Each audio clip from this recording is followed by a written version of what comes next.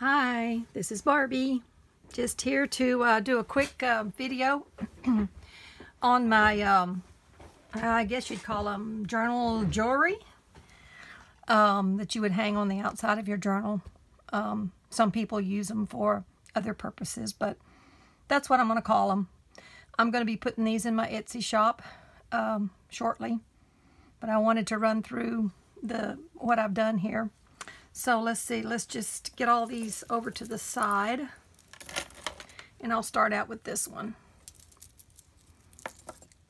This um, just has some of the, um, what they call, um, mm, I think they're called Czech glass beads. Anyhow, they, as you can see, are the, kind of the jewel tones. And I just made a dangle. I also used some um, antique watch faces that I put together for a dangle and some other components that I had. Some gears some Swarovski crystals. These are little Swarovski crystals beads and um, here's the other one. Oh, let me see if I can get it to where you can see it. Uh, okay here there you go. There you go. You can see that hopefully. So I just made a dangle and attached it then to the other beads. And then there's a lobster clasp on each one of them so that if you had a, um, let's just say you uh, wanted to put this on your uh, journal and you didn't have an eyelet already in there, you could take a, large pin, safety pin, and pin it to some fabric that you might have in your journal, and then clip this to the pay, uh, to the uh, safety pin, which would work. Okay, there's that one. Um, also, I did some hat pins. And I used a, this is like a boho bead with some components on it. Swarovski crystals, the Czech um, glass beads, some other little seed beads. And this you can just pin um, wherever you like. It's a hat pin. Okay, then here's another hat pin I did.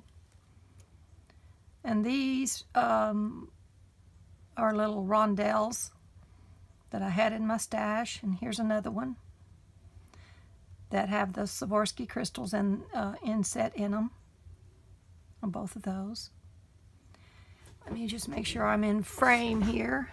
Yeah, that's good. Okay. And then it has a little stop at the end. And this right here is stops the beads from going down. It's a little rubber stop. So there's that one. Okay. And this one here, I um, wanted to make it more of a southwest type um, color with more of the uh, turquoise, um, some of the, um, oh, what do they call that? Some kind of a, it's, it's a yarn that you can buy, eyelash, eyelash yarn. And then I put uh, these, this is real turquoise. Uh, and then that's a little red hat and another uh, bead down there. And I forget what the, this is a real uh, stone bead. That one is. And then that's a turquoise, real turquoise. Both of those are. Excuse me. Mm, there you go. That's that one. And again, I've got some real turquoise beads here. A lobster clasp. Some eyelash uh, yarn. Now this one here, I don't, I don't believe it is real turquoise. This one is not, but these others are. Okay, and then uh, these little, uh, these little things right here are what they call Tibetan uh, findings. They're made in Tibet. Okay.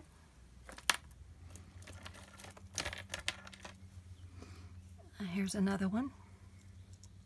This is 24 karat gold, uh, dipped, I believe it's an aspen leaf.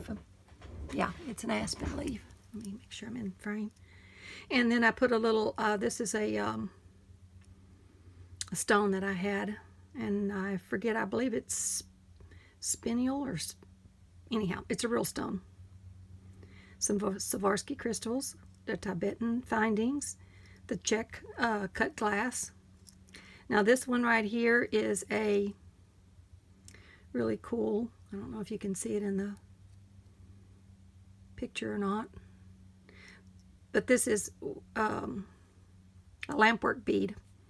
They take glass rods. I used to do this. They take glass rods and you melt them in a hot, hot flame and you design this bead. It's really quite lovely. Okay, and then this is a boho bead I put together. And again with some little seed crystals. Little seed beads, rather. Okay, that one there is Okay, this one, I wanted to make a small one. Most of those, I'll measure them in a minute, but this one here is just a little small bead, but it's really sweet. And it's got a little uh, pottery owl bead and an old button at the bottom dangle. And then as you can see, it's a boho bead with some of the multicolored um, fiber yarn on it. Okay, here's another one with the little owl on it. And this is a little angel owl. You see the little wings at the top. And he's sitting in his little nest. Okay, and then um, this is some magnetite, a bead. And this is a cornelian, I believe. Uh, real stones. Boho. Just a little decorative heart. Again, a magnetite bead and some more of the cornelian. Thought that one turned out really cute. Okay, this is the last one. This is the last one I made, which is my favorite. You know, you always have favorites. Okay, this is a vintage um, pearl I found, mustache. Some more of the Swarovski uh, rondelles, the Czech beads, Swarovski stone rondelle, I mean, excuse me, bead. Um, then this is uh, some, oh gosh, I forgot the name of that. But this is a real stone here. These are chips of that particular stone. And if I think of it, I'll put it in the description. But it's called watermelon, uh, which means it's multicolored. I will put it in the description.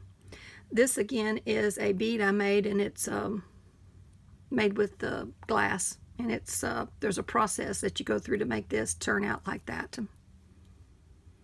It's one of my favorite types of uh, melted glass. And then again, this is a handmade a lampwork bead I made. And with just some little Swarovskis and on the end of the dangle. So there you go. That's that one. Okay, uh, let me measure these real quick. Give you an estimate anyhow of what it's, what size it is. Now from the, er, er, from the top of the clasp to the bottom of the dangle, this one is six and a half inches. And I think most of these are about that. Yeah, about six and a half. Most of these long ones are. Now this one here is a little different. This one is, well, it's about six and a quarter.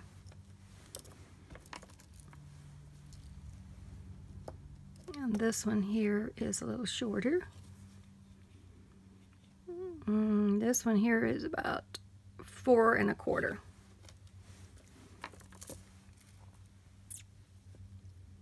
Okay, that one is six.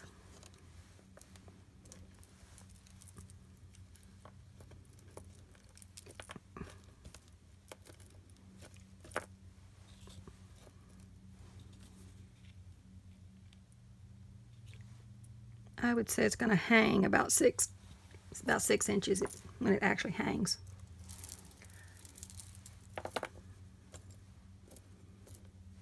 Okay.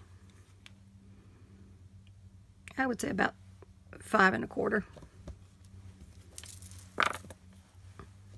Okay, and both of these are the same five inches. These, these hat pins are like five inches.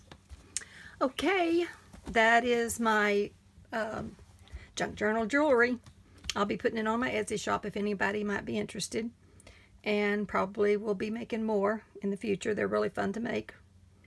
And I love designing um, this jewelry and using my stash to uh, make it very, you know, different and interesting. Especially my stash of uh, lampwork beads and real stones. And this is something I'm going to probably use as a dangle, just to give you an example. It's a uh, bead that is made, it's a handmade bead. And it's got a really cool look to it. So that's one of them I'm going to be using. And I also have some other ideas. So just check back with me and have a wonderful day. Until we meet again, this is Barbie. Bye.